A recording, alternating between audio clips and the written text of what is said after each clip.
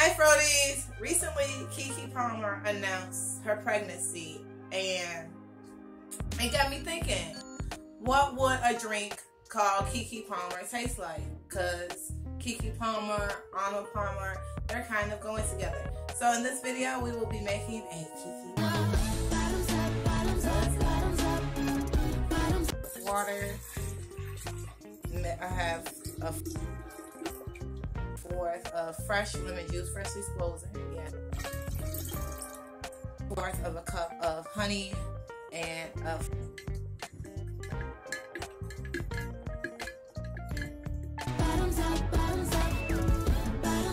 gray tea because it's strong and black like KeKe Palm. Some cinnamon sticks. I have some McCormick cinnamon sticks as well as some San Marcos cinnamon sticks to mix with her spiciness because you know she's got a little spiciness. She's got a little flair to it.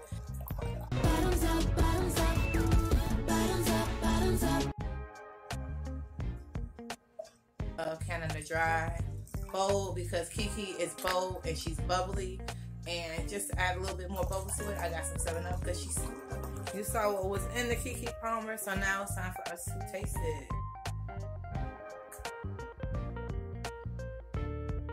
right off the bat, I'm getting like a strong lemon lime flavor from the 7 Up. A little tartness from the lemon.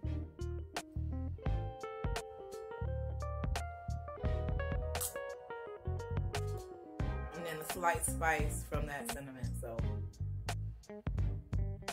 I'm gonna put this in the refrigerator for a couple of days to see. Oh, I'm feeling that cinnamon in the back of my tongue. See if we can really get all these flavors to meld together and bring all this is the non-alcoholic version of it. I teamed up with Poet Poet, and he created the alcohol version of it. So. Yeah. Oh. Yeah. Oh.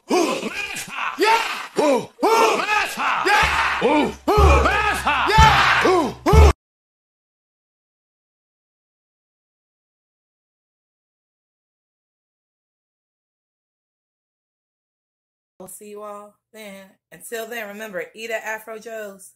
Bye.